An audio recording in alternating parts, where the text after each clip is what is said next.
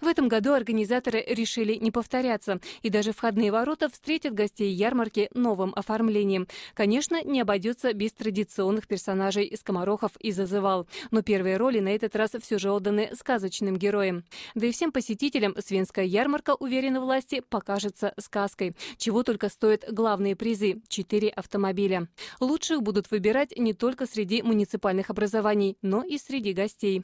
Даже самые маленькие смогут посоревноваться в номинации номинации «Год ребенка».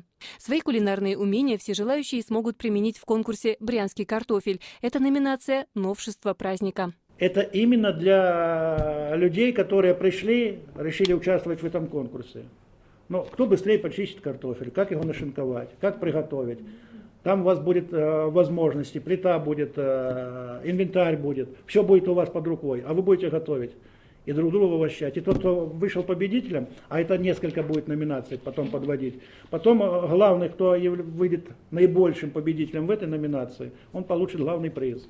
По словам Николая Симоненко, с 9 утра до 6 вечера на Андреевском лугу будут работать концертные и спортивные площадки. А на подворьях можно будет не только перекусить, но и приобрести продукцию брянских производителей. В этом году заявки подали 350 участников, причем около 60 мест уже забронировали наши соседи из Смоленской, Орловской, Калужской областей, а также из Украины и Белоруссии. Изюминкой праздника, по мнению замгубернатора, станет модный показ.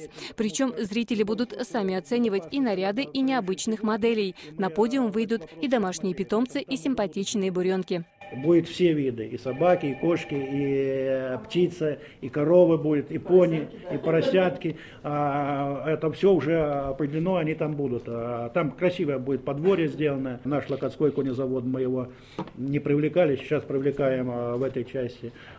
Тройку будет любой желающий, который желает прокатиться, имеет возможность это будет сделать.